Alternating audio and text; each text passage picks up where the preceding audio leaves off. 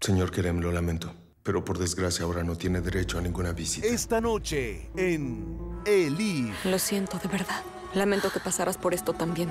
En serio lo siento, ¿sí?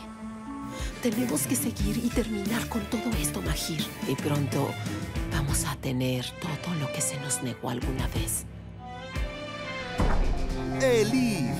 De lunes a viernes a las 7 de la noche por Antena 7.